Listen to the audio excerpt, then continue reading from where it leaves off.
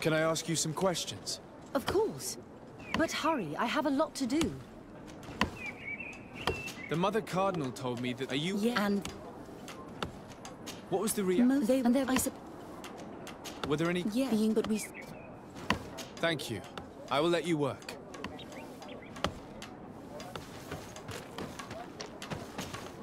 Hello, brother. Oh, De Sardet, is that you? Do you need anything? Have you been in Eden for a long time? Two months, approximately. Back then, there were still some pagan natives in the village. I joined Sister Eugenia's team with some of my colleagues, so we could give them a fresh outlook on things. We arrived straight from Thélème, hoping to study some new texts. But once we were here, I understood that my real mission was with the Islanders. We must bring the light to this island.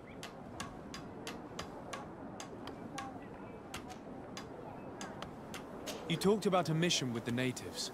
What did you mean by that? I may be under the command of Sister Eugenia here, but my superior is Bishop Domitius. Our mission is to banish pagan cults and convert the entire population to the light. The island belongs to Saint Matthias, and therefore to Thélème, since the God of Light offered it to our founder. If your superior's Domitius, you are a member of the Ordo Luminis. I did not expect to find one of its members side by side with the missionaries. They usually do not get along. The Order goes everywhere the light needs to be revealed. You have a very unique way of seeing things. I doubt everyone accepts it. How are your relations with the natives? When I arrived, we were still trying to obtain information from them about St. Matthias, but they were very reluctant to give us any answers. We were also trying to educate them. Our attempts eventually made some of the inhabitants of the village react badly. Most stubborn against our teachings, the warriors, and the marked. The ones the natives call the Onol Manawi. They eventually left, and it has proved nothing but a blessing for us. I would like to go back to work now, if you don't mind. Of course. I will leave you to your work. Goodbye.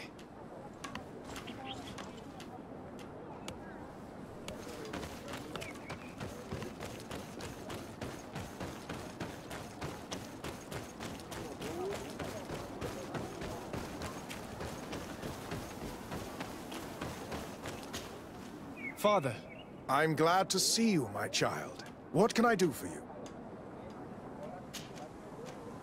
Tell me about how you created this village. We did not create it from the ground up. It was built around an existing native village. The islanders called it Vixenagad, which translates to the village of the old sage. Huh. We saw it as a sign. The natives had probably chosen this name in memory of Saint Matthias, and everything here fit the description of Saint Lucius. The discovery of the tablets proved us right. So, we decided to rebuild our Eden here, in the spirit of peace and harmony which is described in the scriptures. Why share this village with the natives? To replicate and resume the work of our founder, of course. If he came here and managed to convert the natives, then it is our duty to do the same thing. By living side by side with them, it is much easier for us to pass on our teachings.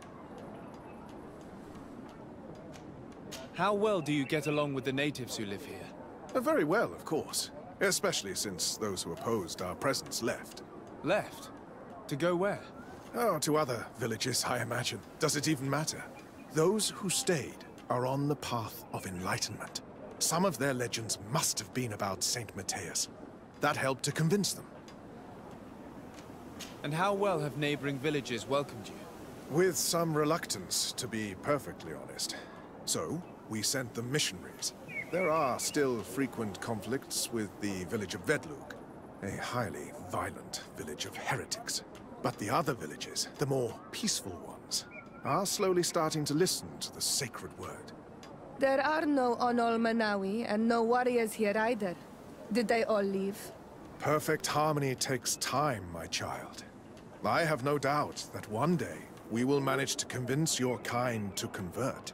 But, in the meantime, we must settle for the miracle of great coexistence that this place already represents. Nobody thought we could live side by side with your people. And yet... I must leave you. Goodbye. May the Enlightened always keep you in their divine blessing.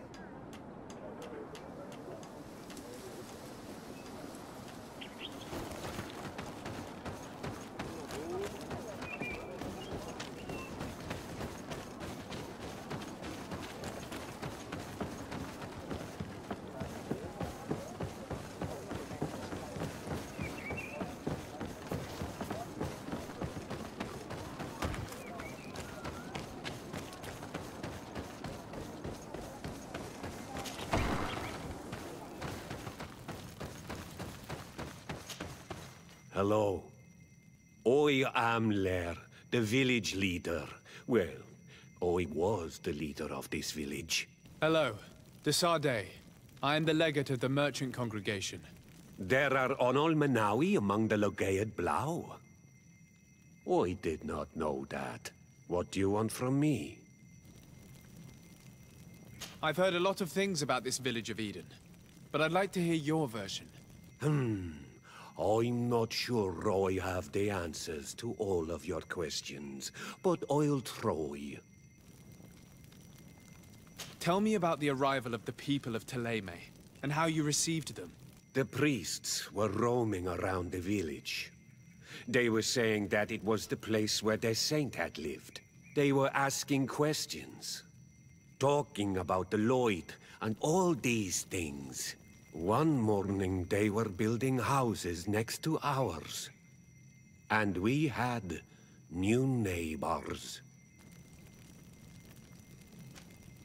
The priests told me that they had managed to convert you. How did that happen?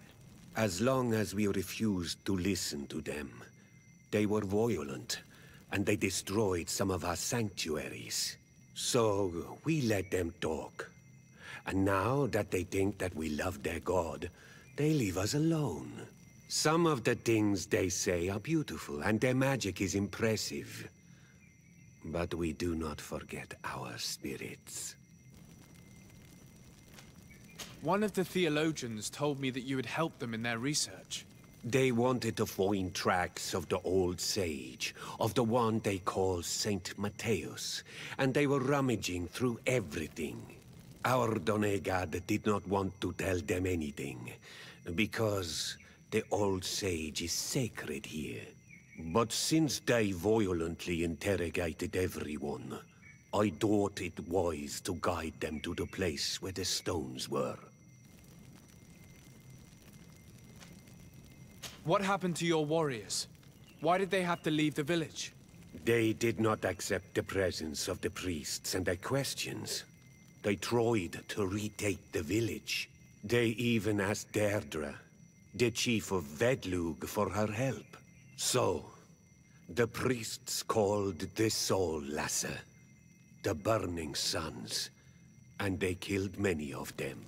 Oi asked for peace, and the others left us. They wanted to join Vedlug. Perhaps they have done so. Aren't you angry after all that happened? No.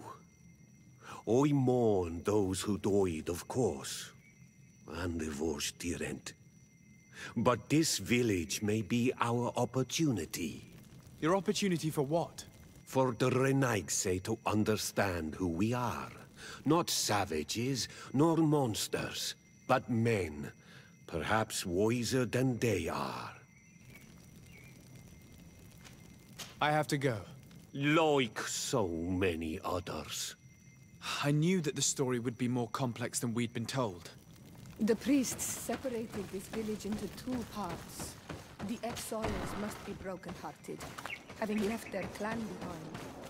Had they been wiser and accepted their new neighbors, they'd never have been forced to leave. Either way, the resentment here is strong enough for a theft to occur.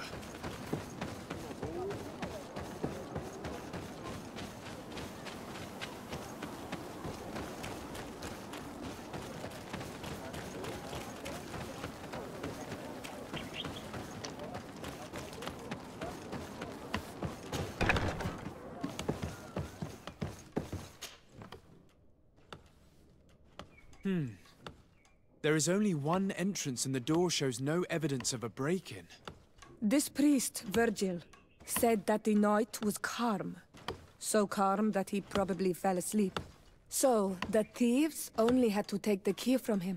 It's very likely that that's what happened. But someone must have informed them. It can't be a coincidence that they decided to steal it during the watch of the only neglectful guard. You think that the one who told them is in this village? We know that this theft could be an act of vengeance by the natives who were forced to leave here. They must still have allies in the village, family or friends. We should go talk to the chief of the natives. He will certainly know who is close to the exiles, and enough about the researchers to inform them.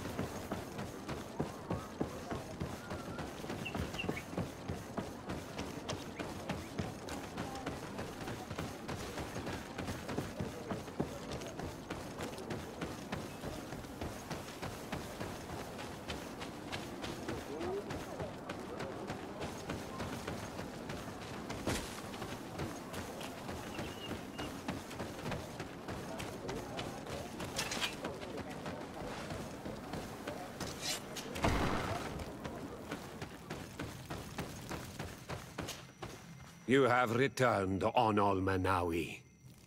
Do you need something else? I think I know who stole the tablets. Really? I believe those who were exiled from your village seek vengeance because the missionaries forced them to leave. They must have taken the tablets with the help of someone else who stayed here. You may be right, but you may also be wrong.